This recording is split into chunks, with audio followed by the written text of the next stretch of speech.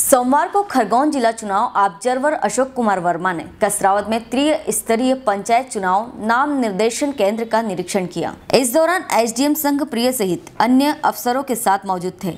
हम आपको बता दें कि पंचायत चुनाव ऑब्जर्वर श्री वर्मा खरगोन ज़िले के पूर्व कलेक्टर भी रह चुके हैं। कसरावत से अखिल खान की रिपोर्ट। हेलो फ्रेंड्स आप देख रहे हैं हमारा channel S twenty four news हमारे सारे वीडियो सबसे पहले देखने के लिए आप हमारे चैनल को सब्सक्राइब करें और पास में लगे बेल आइकन को दबाना बिल्कुल भी ना भूलें।